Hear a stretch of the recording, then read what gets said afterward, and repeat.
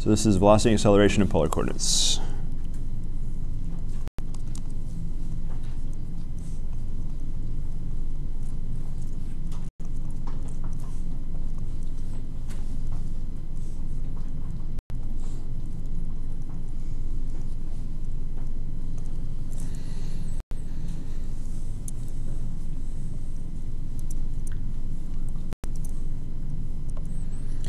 So we could label x and y axis, but of course we're going to be in polar coordinates, so that's pretty useless.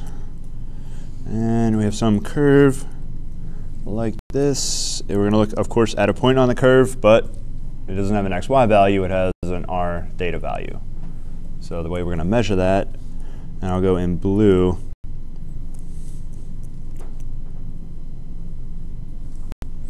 So we have an r value and a theta value. And there's our point right there.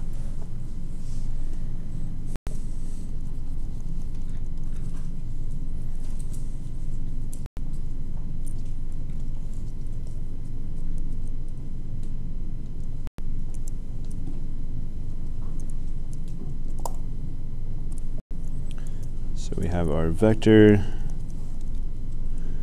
and for some reason we'll use capital R for that.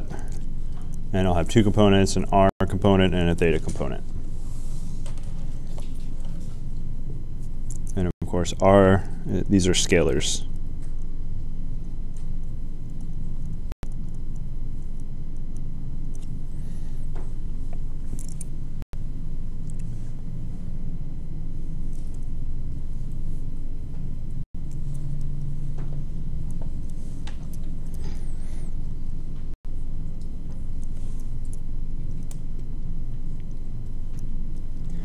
So I have these labeled as u theta and u r.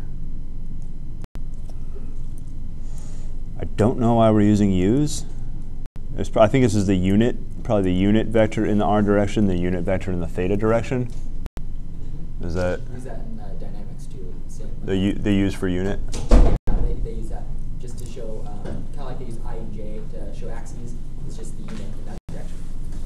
So what these are is basically a local frame at that r theta point. So you'll have one going in the, you could say outwards direction from the origin, or maybe in the r direction, and then the other one going perpendicular, which would, if we were using a polar grid, we would be on some radius right here. So it's going tangent to that circle right there.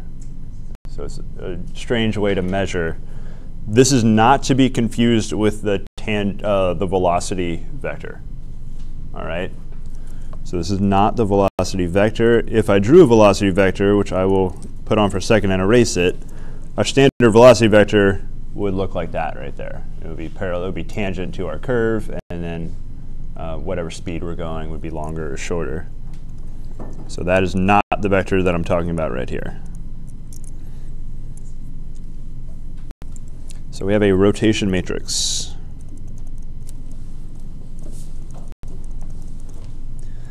And this matrix is going to be a 2 by 2. It's going to go from R2 to R2, so the Cartesian plane to the Cartesian plane. And it's going to rotate theta counterclockwise. And this matrix is cos theta, negative sine theta, and sine theta cos theta. So you probably use that in physics a few times. A few times.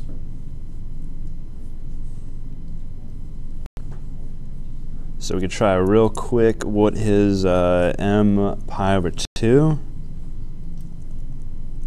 So I'm just going to take pi over 2 and drop it in for all my thetas. So really fast example, minus sine pi over 2, sine pi over 2. So the cos pi over 2s are 0, sine pi over 2 is a 1. We get 0, negative 1, 1, 0. So according to what I wrote, this should rotate pi over 2 or a quarter rotation counterclockwise.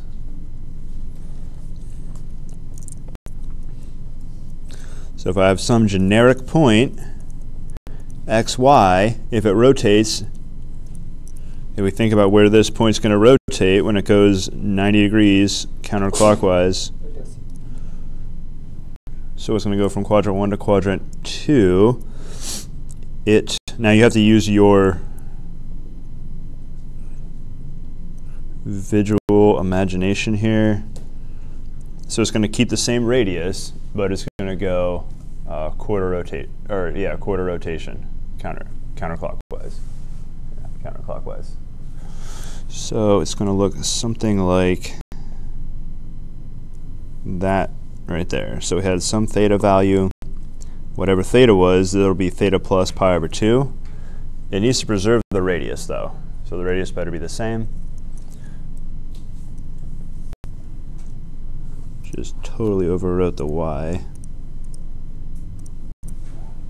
So that's supposed to be a y value. All right, I can write down the coordinates over here.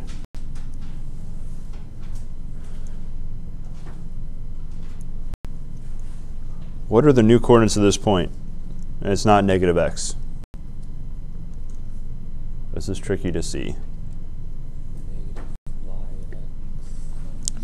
So it should go negative y comma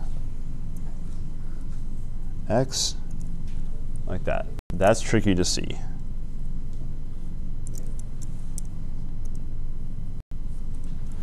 So this measurement right here was x, and that turns into uh, that measurement right there. So the original x becomes the new y. And the original y measurement right here, which was positive, will become the new x measurement, except it's also going to become negative. So a quarter rotation is kind of nice because you can see it. If I did a pi over 4, things would get a lot more ugly. We'd have to get, we couldn't just sort of eyeball it. So that's what coordinates uh, xy will turn into with a quarter rotation. And it turns out this is true no matter what quadrant I put xy in. Even if I put it on a coordinate axis, it wouldn't matter. So let's go and multiply. We're going to use column vectors now.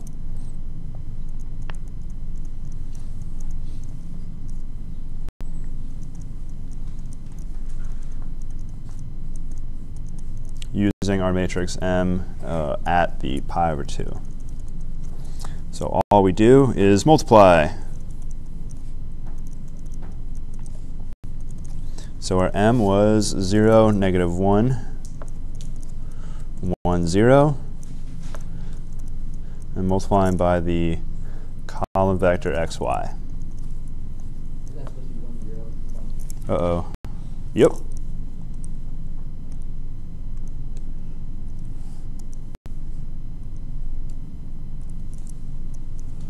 All right, so we're going to cross and then down. So we're going to get 0 x's minus y. And then in our, in our bottom row, we're going x plus 0 y.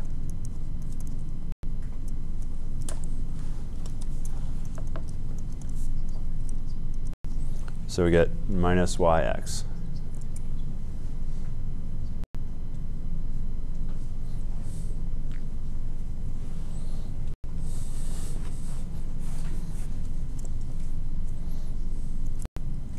Now, if you want to really nerd out on linear algebra, which of course I always do, and so should you,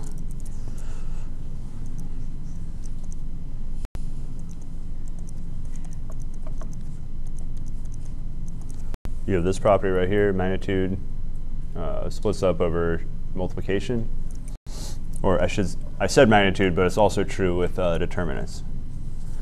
So it's also true so x here is a, maybe we'll go AV for vector because I already used x. So that'll be determinant of A times the magnitude of the vector V, right there. And if this is magnitude preserving, meaning if whatever my radius r is, if I want r to be preserved, which anytime you rotate, you're going to preserve your radius, that means I want the property that uh,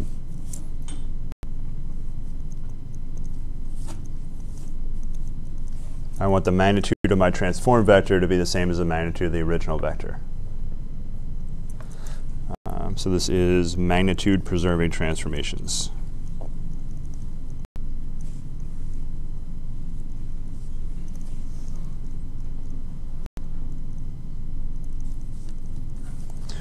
So you're going to do transformations in, I believe, Calc 4.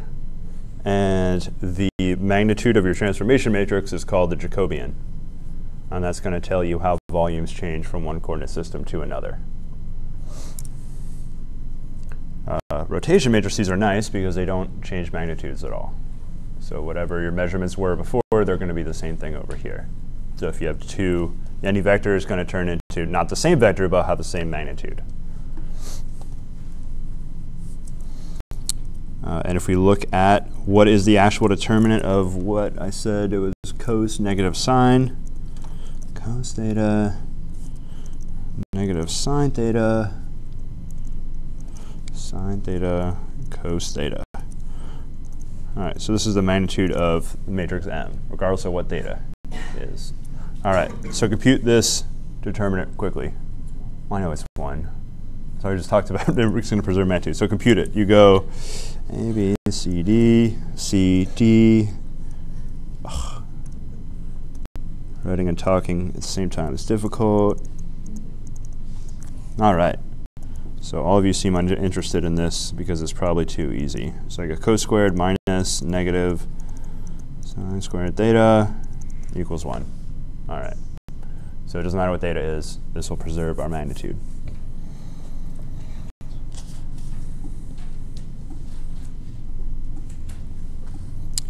And what is the formula for UR and U theta? I'll write those down up here. There's a little digression into linear algebra, which you'll see soon enough. UR is cos theta i plus sine theta j, and U theta sine theta i plus cos theta j. So that's UR and U theta. So you can tell right away those are units. Take their magnitudes, you know, square each component, add it together, definitely one. So it's really obvious they're units. Oh, there's a negative sign. Oh man.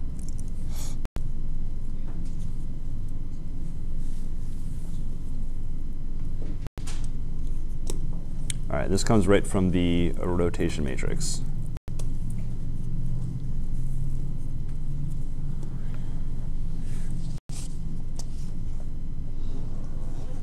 Uh, another way you can write the vector r, you can write it as the scalar. So that's the amount, the magnitude of the distance you go from the origin times ur. So take the UR vector that direction and then go whatever magnitude uh, R originally had, which I, I labeled as little r right there. Uh, quick question. Yeah. Uh,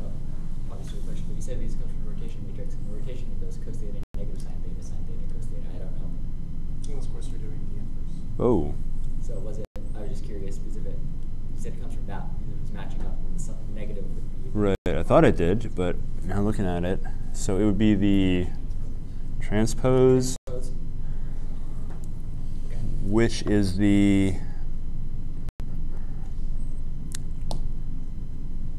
and a two by two, I think, is the inverse when your magnitude is one, um, because normally it's a transpose divided by the magnitude. So I believe this will be the inverse.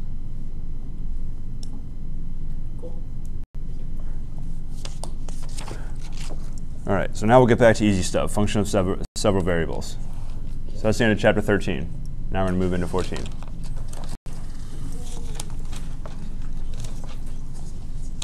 Oh, on Canvas, if you had trouble finding the discussions, they're there, but I think you may have to click on discussions. Is that right? Yeah. So I don't know where the other ones appeared normally. That I think just on the homepage, like the other two appeared.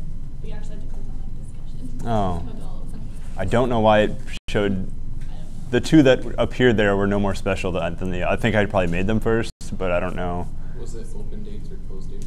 Ooh, that might be it too. I'll check the dates on there. All right, so this is 14.1, functions of several variables.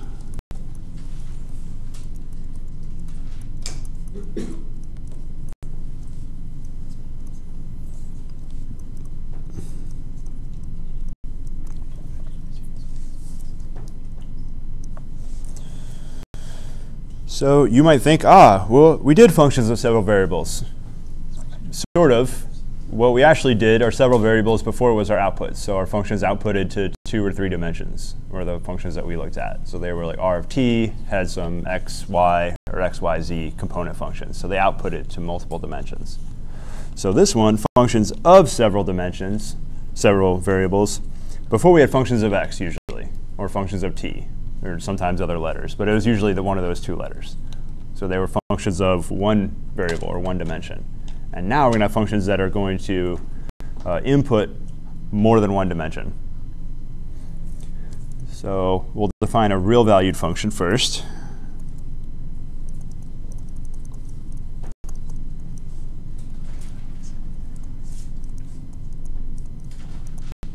A real valued or scalar function is any function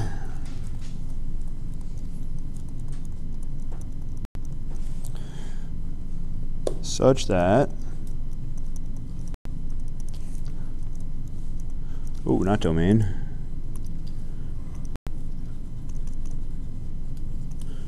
such that range of f is a subset of the real numbers so that means it outputs into the real numbers. Doesn't output vectors, doesn't output complex numbers, it outputs real numbers. And that's what a real valued function is. Now I didn't say anything about the domain. So you've pretty much worked almost exclusively with real valued functions in Calc 1 and Calc 2.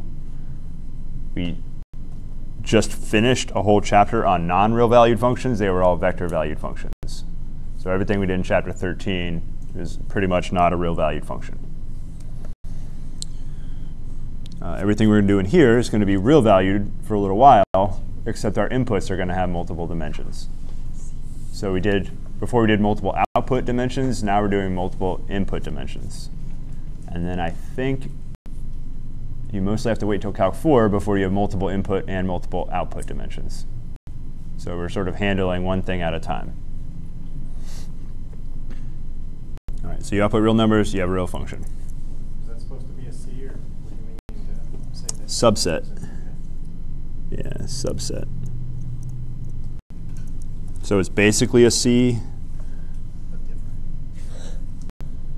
I think it's supposed to, it's actually supposed to be a sideways U. It should have kind of parallel sides with a, like it shouldn't be written like that right there. That would be a very lazy subset symbol. So don't go that way. It's a sideways union or intersection symbol, depending on which way you rotate. All right, so that means subset. And we're going to consider real valued functions with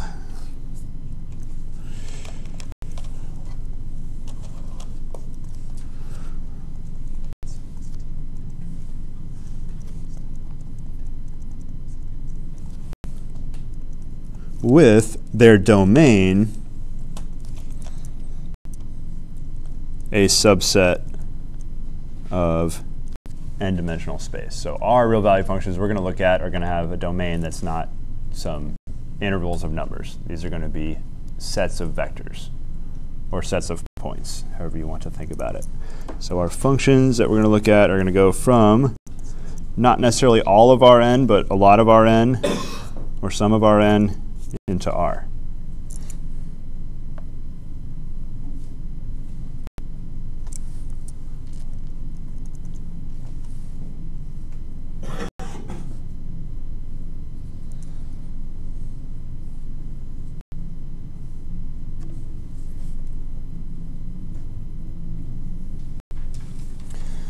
So if we are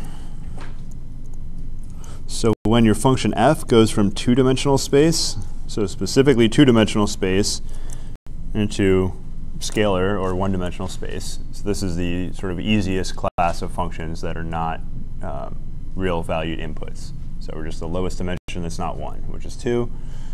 So when you have a function, you can graph it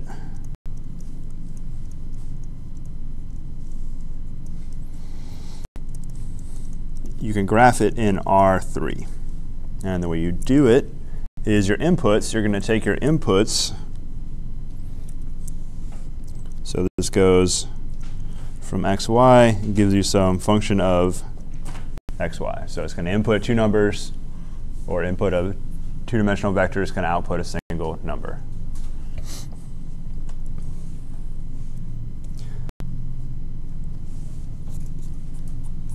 We're going to let z equal f of xy. So whatever your output is, that'll be a z value. So when you go to graph this function,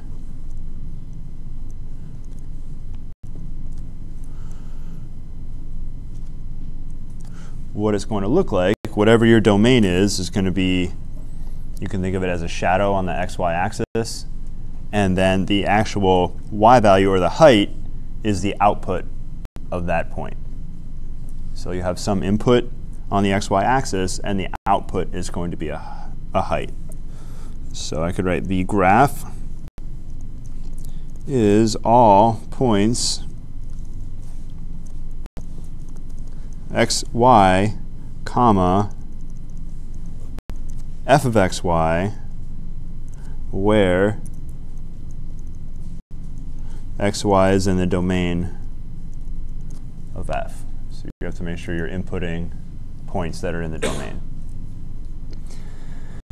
Now another thing about domain, uh, you're usually going to have to look at pairs x, y, not just um, x values and not just y values separately. You're usually going to have to consider them together. And we'll do some examples on domain and what we need to be careful about. So the graph is all points x, y, comma, uh, the output f of x, y. And what this will graph out to be, this will form uh, a sheet or a surface. The graph looks like a surface. You could think of a topography map if you're into hiking or maps where your altitude is your output, basically. Uh, that's one example of this. Of course, then your domain is kind of whatever coordinates, uh, latitude, longitude you're using on that map. That's not the best example because the Earth is more round than it is flat, but we'll pretend that it's flat for calculus class. and then the height, certainly when you look at a map, it looks square. It certainly looks flat. And then you got heights going on. You know, reality is curves around and things get way more complicated, but when we look at a map, we pretend the world's flat. So I'll try to draw some surface. But again, drawing three dimensions is pretty useless. This looks more like a blob. That's not very good. I can do better.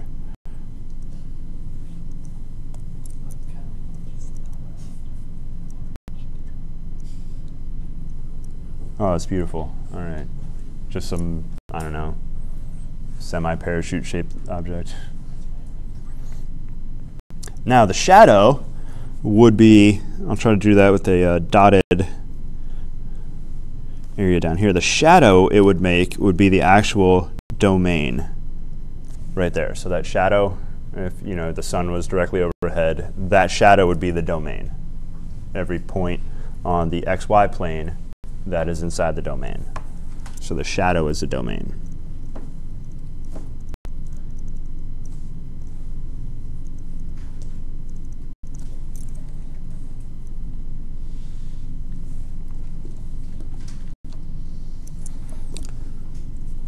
So we'll do three domain examples here.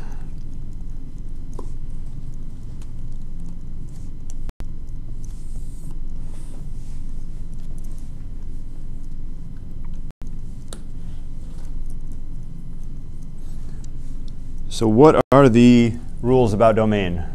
They've pretty much been the same for a year or so since pre-calculus class. So no divided by 0 no negatives inside square roots or any even roots, really. Uh, fourth roots, sixth roots, etc. roots. We have more rules than that, though. What else do we have? We have more rules than just that.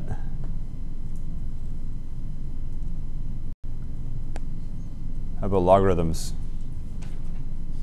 Oh, uh, no zero. No logs of zero or negatives. So there's also a logarithm properties you have to watch out for.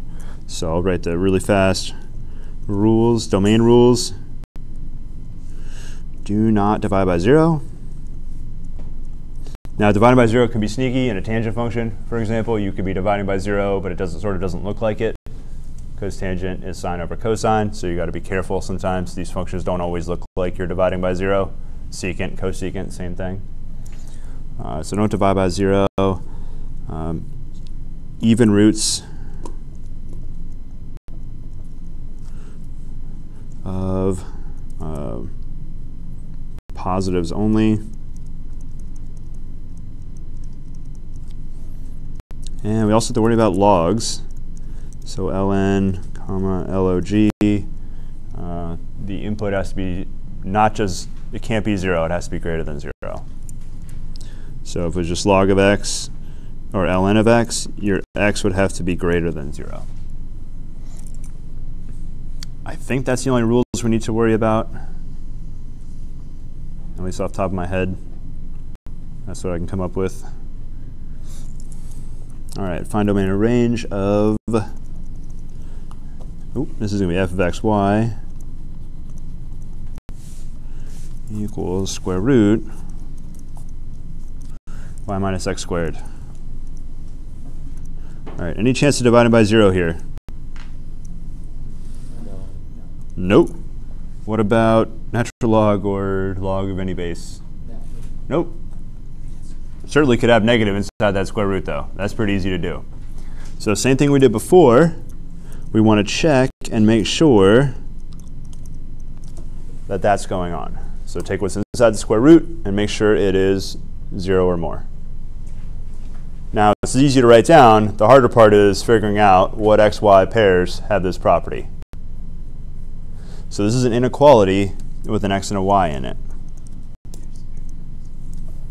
So I could certainly subtract. Make sure if you divide and multiply, you're super careful because chances are you're multiplying or dividing by a negative if there's any variable in there. So if you're going to divide or multiply, you need to be very careful. Oh, how in the world do we do this inequality? Wouldn't it be nice if we just figured out when they were equal? That's way easier, right? So start with an easy problem and then figure out when y is that much or more.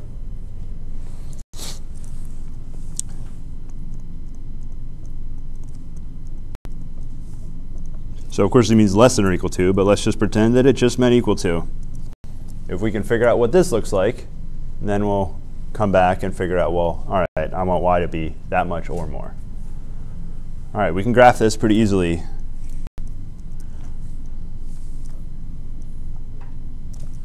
Right there, y equals x squared, easy graph. So that is all points that have y equal to x squared. What part of that graph do I want for the inequality?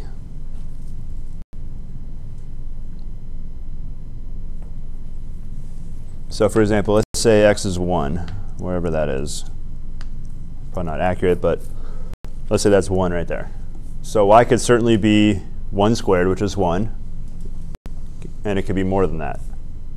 So it could be anything that or above. Same thing if I went with 1 half, then uh, y would be a quarter or more. And same thing with 0, at 0, it could be 0, no problem, and up.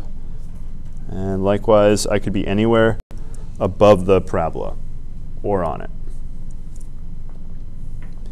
So any questions about that graphical? And we're actually graphing the domain of this function right now because the domain is points x and y. So here's what the domain looks like, graphed out.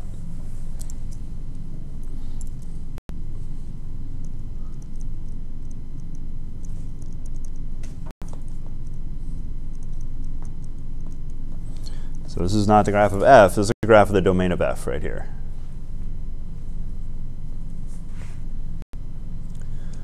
If we write set builder notation, you actually can write it out kind of easily. So I see that y is x squared.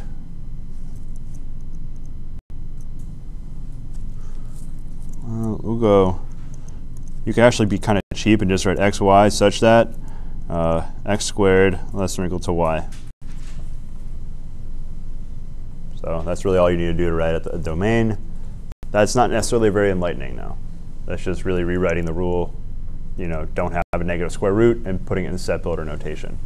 So it's nice to have an intuitive understanding, oh, the domain looks like this right here.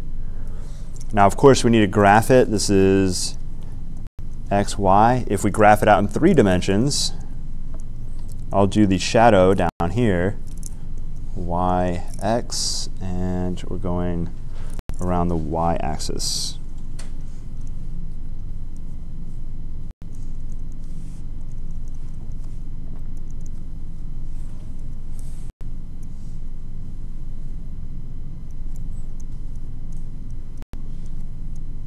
So that's what the shadow would look like on this graph. So that's our parabola on the horizontal plane, the xy axis. Now what does the height look like? That's going to be way harder to graph, so I'm not going to. You can plot a few points, probably better to use a graphing utility. Uh, but we can talk about the range. What's the smallest value you can get out of that function? Zero. So we can get zero out. Anytime y equals x squared, we're going to get zero out. Is there a biggest number we can get out of there? Yeah, and go all the way to infinity, right? Make sure x isn't too big and make y huge. And then you'll get whatever number you're thinking of. So if x is 0, you let y equal the square of whatever number you're thinking of. And we just found an input to get that value. So our range here, will range of f is 0 to infinity.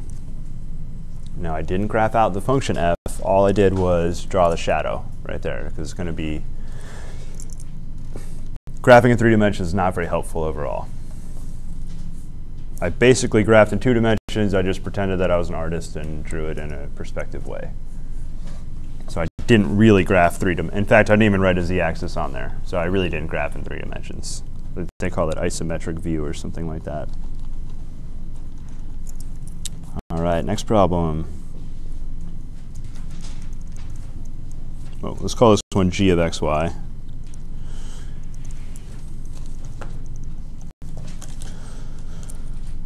All right. What is the only one of the three that I have to worry about for this domain? Divided by zero. Divided by zero. So same thing we did before. I'm going to take the whole denominator and set it equal to zero. Look for bad. Usually I said bad x's. Now we're looking for bad points, bad xy points. So we're looking for bad xy points. So we're looking to exclude every value that has the uh, xy product equals 0. All right, zero product property right here. Multiply two numbers to get 0. That means yeah, one of 0 or the other 0, or they could both be 0.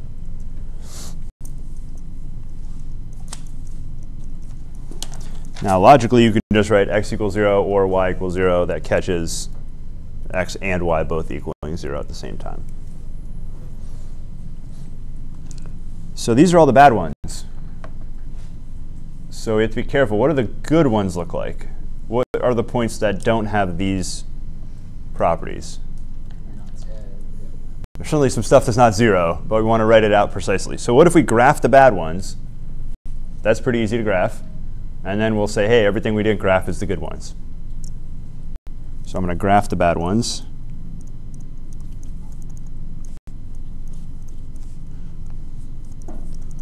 I'm going to graph them in red because they're bad.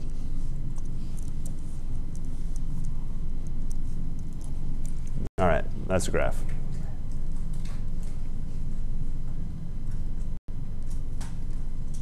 What points have x coordinate 0? The y-axis. What points have y coordinate 0? The x-axis. the x-axis. And of course, the origin has both of them 0, so it's as bad as all the rest of them are. All right. So what's left is our domain. So we're throwing away the axes. There's actually four pieces of the domain, but they're not the axes themselves. So there's four pieces to the domain. Now we'll go back to the black marker or pen or whatever this thing is called, and we have, uh, there's four pieces right here. There's not really a good way to draw this out, so I'm to just do a sort of dotted line and say take everything up there. So I'm trying to just cut out the axes. So there's going to be four infinite open rectangles left.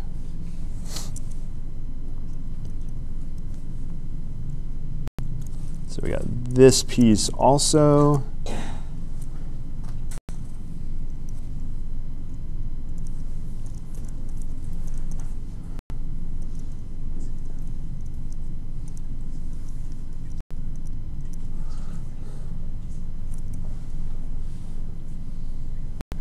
Oh, it looks kind of strange.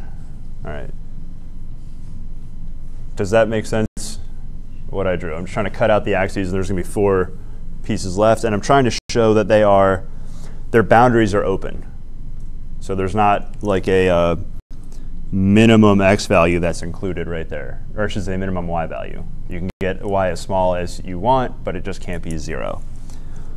So let's try to write the good points in set notation. So we can actually do it really easy in set builder notation.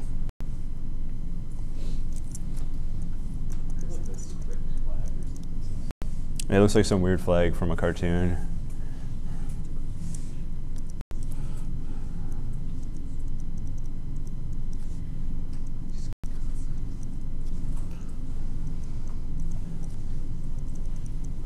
So if we use uh, not zero, we have to use the word and. X is not zero and Y is not zero. Because if one of them is zero, it screws up the product. The product will be zero, even if just one of them is zero. Now, if you want to specifically describe one of these four, they're almost quadrants. I'm going to call them quadrants, basically quadrant with the axes removed. So if I want to talk about just one of them, so we'll go just describing quadrant one in set notation. So quadrant one is that one right there. How can we describe quadrant one in set notation? So I don't want this description to cover 2, 3, and 4. Just one quadrant 1. So x greater than 0 and y greater than 0.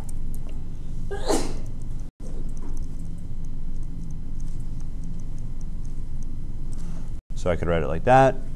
Now I could do the same thing for, well, something similar for quadrant 2 and 3 and 4. Just be careful about greater than or less than 0.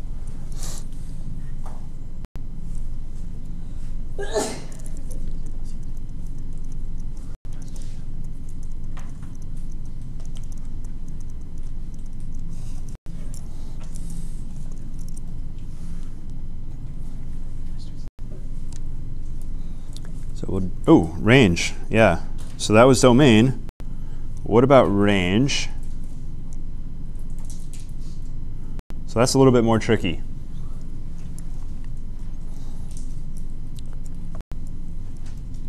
So think of any number that's not zero. Are you thinking of 42? Good, that's the right number. All right, so how do I get 42? How about x is 1 and y is the reciprocal of 42? Any number you're thinking of, that'll work for, except which number? 0. Can't get 0 out of this. You can get really small numbers, big uh, negative and positive small numbers. So you're thinking of a tiny number like 1 over a million? Well, just choose x is 1 and y is a million. So I can get whatever small number you're thinking of except 0. That's the one number I can't get out of this range. So our range of G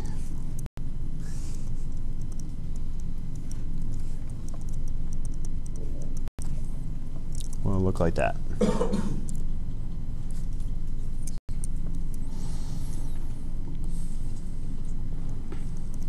So our last domain range, let's do h of XYZ.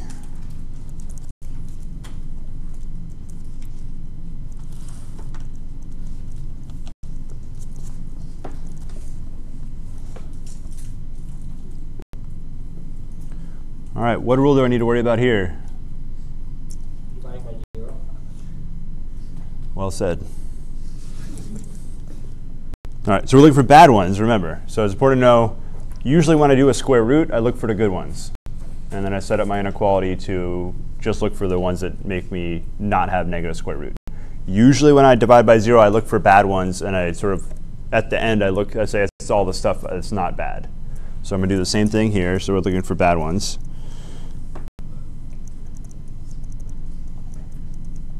All right, we're keeping it real, so don't do some imaginary factoring here. Like I know you could go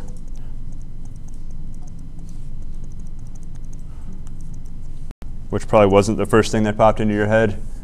Uh, but you can factor it like that. We're not factoring it over the complex number. So not until you get into complex analysis, then you may have to do that. All right, zero product property. So the ZPP. So Z equals zero or x squared plus y squared equals zero. All right, so Z equals zero, that's pretty easy to understand. When can x squared plus y squared equal zero? So it's only very specific xy value or values. So 0, 0 works, and that's the only one. If you have real numbers, that's the only one.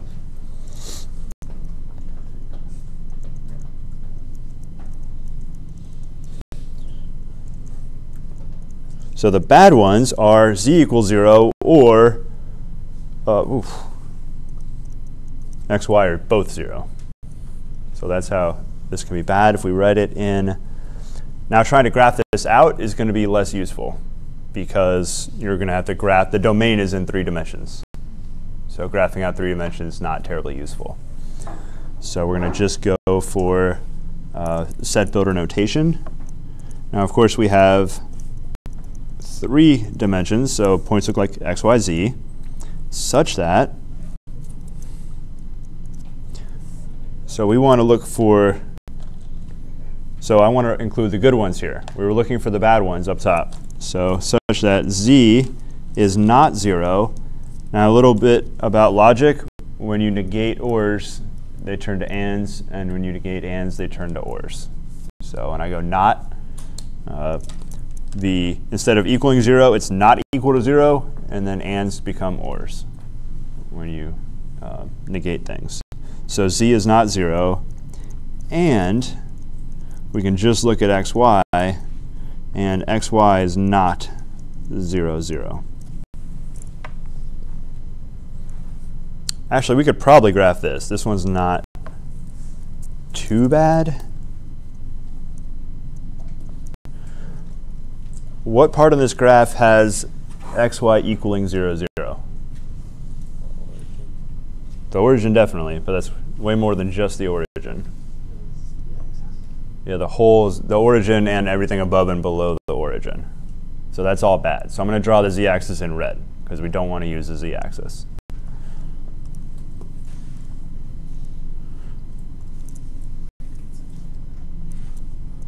So z-axis is bad.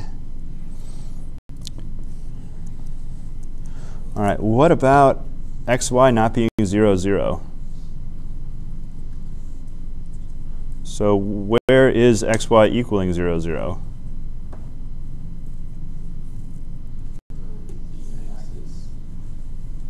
Oh wait, we just did that. Duh. Oh, z not 0. So the entire xy plane. So now I want to be careful. If I just draw the xy axis in red, it'll look like I just want the xy axis when I want not just to exclude those, but the entire horizontal plane, the xy plane. So I'm going to use a red marker and do my best to draw an infinitely large plane. I'm just going to label it as the uh, xy plane. So we're going to exclude the whole plane plus the entire positive and negative z-axis. There's sort of a weird domain. There's two pieces to it, but each piece is shaped sort of like an infinite donut. Uh, so we're slicing that horizontally, and then there's a big piece on the top, except it's not quite an infinite rectangle. It has a hole, an infinite hole drilled all the way through it. And same thing on the bottom. So they have weird shapes. All right, it's a good time to end.